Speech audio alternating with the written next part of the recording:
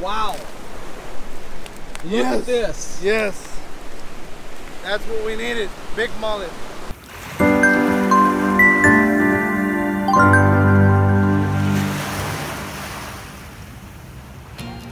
Well, we're here at Carlos's pad, and uh, I'm gonna go knock on the door and let's see if he answers. Otherwise, this may turn out to be my first solo run to the East Cut.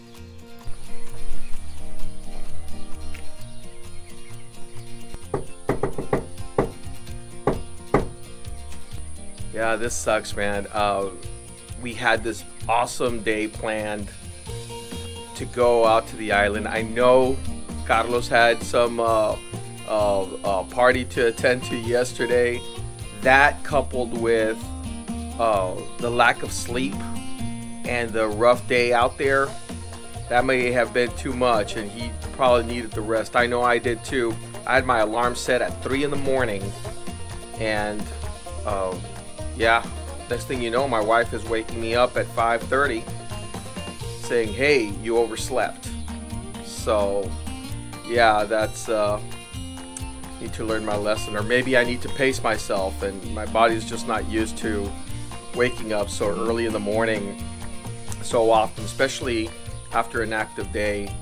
Uh, I'm gonna give Carlos one more chance, one more try, and then if he doesn't answer, I'm gonna have to take off on my own it looks like he's gonna make it. Uh, it just seems like he's having a very hard time uh, waking up or trying to get out of the bed, and I don't, I don't blame him for that, man. I, I understand, but we are hardcore, and we're gonna go. We're gonna do this. We're gonna get up, get out, and do something today. A few moments later.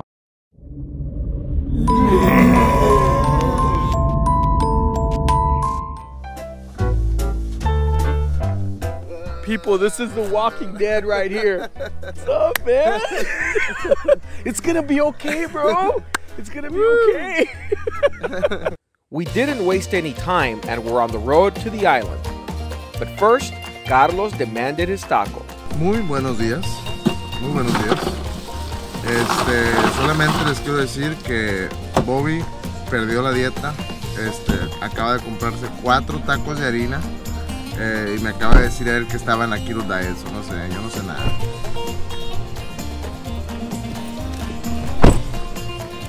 Bloguero, bloguero, te dice la gente. we arrived at one of Carlos's favorite bait stops. Ahí van unos cuantos, mira. Ahí va una escude. Me voy a subir al pinche canal y ahí los voy a esperar en el medio.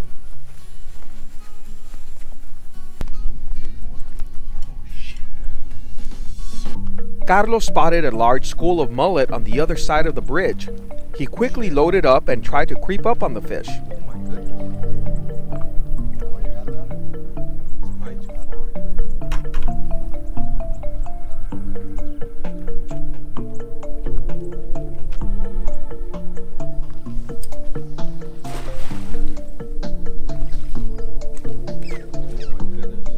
Unfortunately, his throw came up a couple of feet short. The throw was at its maximum length and the net didn't fully extend. You can clearly see the you can clearly see the ripples in the water. You can see a lot of activity. We're at this uh, what would you call this? It's just one of the many canals here in Cameron County. Uh, One of the veins. yeah, one of the these uh, little areas of water here, and we see a lot of activity. Unfortunately, I don't know if you can tell, but we're several feet up from the from the water's uh, water level, and uh, in this little bridge, and it is uh, kind of tough. We cannot go all the way over there. We're not here to trespass either, so we don't we don't want to be doing any of that Look stuff. at that big school of mullet. Like there's a huge school of mullet. and we saw about four blue heron when we were when we got here. Uh, the one of these uh, the, the, those big birds I usually Yeah. get to see, and um, so we kind of thought, well, maybe there's some activity here. And sure enough, unfortunately, way over yonder, that's where you see them. Wow. so close yet so far away. oh, nice. Yeah, they're, they're out there. Their property, you know, it's a private property, so we, we want to respect that. We don't want to, we don't want to, you know, go over the. Yeah, we don't. You know, that's that's very important, guys. You wouldn't want anyone to be going into your property for any reason, you know. So, good sportsmen's, yeah, you, you just maybe you just walk away from it, or you just wait and you do your best. This is awesome. We just found another spot. Where the hell are we going? Oh my god.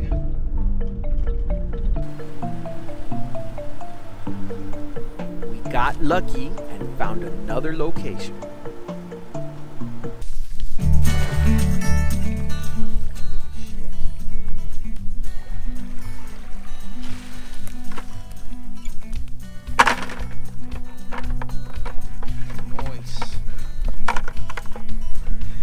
Yeah, we've been we've been saying noise all this time. We need to stop with the noise, okay? We gotta kill the noise.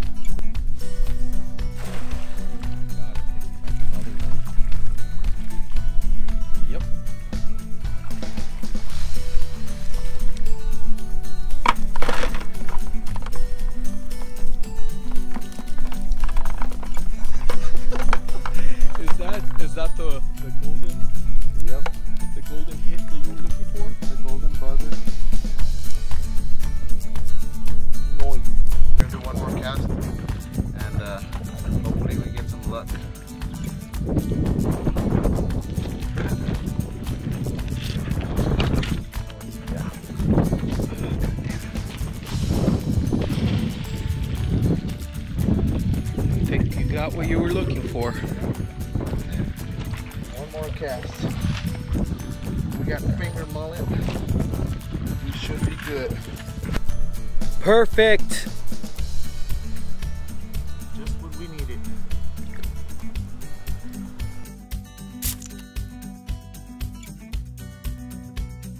So you were saying about right now we are trying to rush to the nearest stripes. Unfortunately, yeah, we do have an aerator, but you can't have an aerator without, you know, it doesn't it's not gonna work without the batteries. Batteries. So we need to go get the batteries right now. How much longer do you think before something bad happens here? I think that uh, you know one of the most important things about having bait fish in a bucket is your aerator, and of course the water temperatures. Uh, you might want to keep that water temperature, you know, a little bit cool because you start traveling around with this bait bucket all over the place, and then that water starts getting hot because all the mullet are just swimming around, and it's just creating more, uh, you know, heat on the water. So we want to make sure to put a little bit of ice in there. I'm gonna keep them cool, put that aerator to work, and uh, and we should be good. So uh, that's what we're gonna do right now. We're gonna get the batteries uh, for the aerator, and the next step is put some uh, ice in there. We want to keep that water cool, and those fish Alive. live, which is the most important thing, right? We want live bait. So uh, another another thing, uh, mullet live longer than shrimp, of course, and uh, they're stronger. So you can, you know, they could be without oxygen for a little bit more than you know your regular shad or shrimp. Carlos, I'm gonna get the batteries. You get the ice, okay? Okay. I'll be back.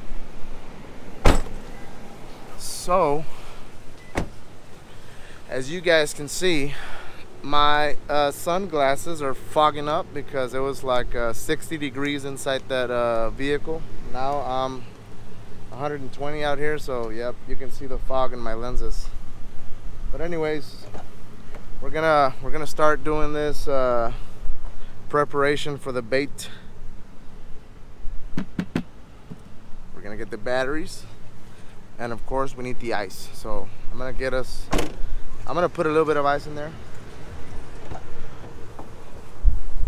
I had forgotten we have a little bit of ice in here so we're gonna do that right now ouch just hit myself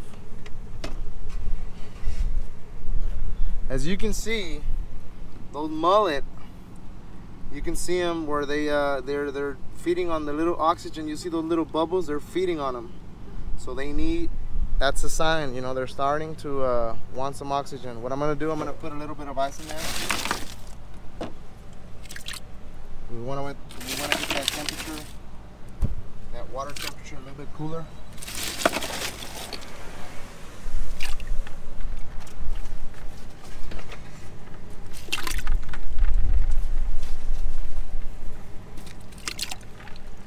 that ice will calm what this does is that ice will calm the fish down just a little. And then you know it gives it uh, good temperature so they can keep you know they can stay alive a little bit longer.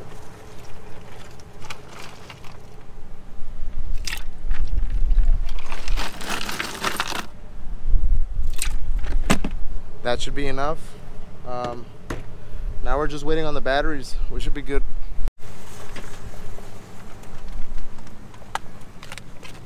Batteries. yeah boys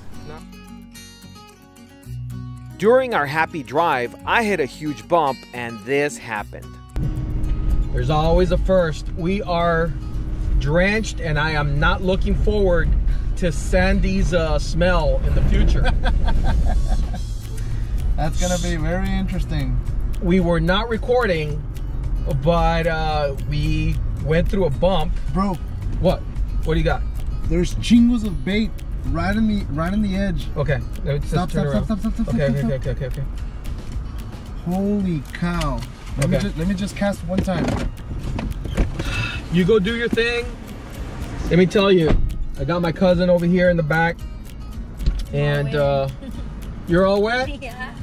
I think she had a mullet fall on top of her head. I'm not even kidding about that. I'm not kidding. Fish all over the place. That mullet that we caught just a little while ago, we had an aerator in there, we had fresh water, we had everything. We even put, you know, a little bit of ice, like, you know, a few cubes in there to kind of maintain that temperature. They're not alive anymore, okay? And when we hit that bump, I think it was all the stress from all the driving and all that stuff, you know, everything moving all over the place. And uh, what ended up happening is the lid completely, completely dropped out of there. Um, and water was slushing all over the place. And there's water on the roof. Good God, it's gonna suck. And uh, yeah, I had to go and uh, retrieve some mullet. So now I have uh, Carlos.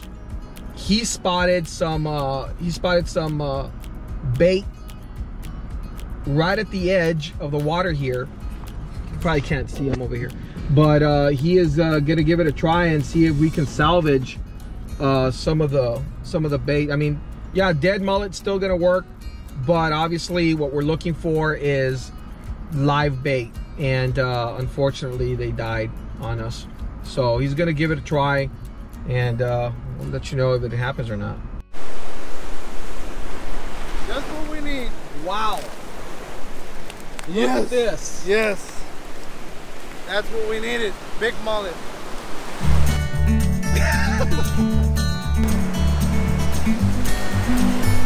He spotted the mullet while we were driving. We're doing about 30 miles an hour. You saw it. Bro, What? What do you got? There's chingos of bait right in the right in the edge. We're just driving, having a conversation. He spots the mullet right on the edge, gets out, casts, and he makes it happen. Wow. Carlos, we are just talking about how you spotted this school of mullet. yeah. What the hell, man? Yeah, that was awesome. Uh, we're just driving right here and uh, I just saw like a school of mullet and I just saw it like swimming around. I'm like, dude, stop, stop, stop. So we stopped, I cast the net and sure enough, we got some big mullet now. So that, those are gonna be real good baits for big bull reds. See if we can, you know, catch them. But a big piece of bait, a big piece of a fresh mullet, I think that's the best bait out there for, for big red. So we'll give it a try. There's also some good news. Not all of the mullet, upon a, a closer inspection, we were able to find out that not all of the mullet died. Uh, some of it, some of them are still very much uh, alive right now. So hopefully it'll, be a, it'll make a difference there, and, and, we can take advantage of those live mullet. I mean, uh, the, and the other thing is the mullet that did die, still very fresh, obviously. So we put them in a plastic bag, and it's in the in the ice chest right now. So we're gonna be okay. Oh yeah. Coming up in part two, Carlos gets spiritual in the hopes of landing the big one. Uh, you know, talk to the fish gods and uh, bring the good vibes of the big fish, and uh, that's uh, that's what we're doing right now.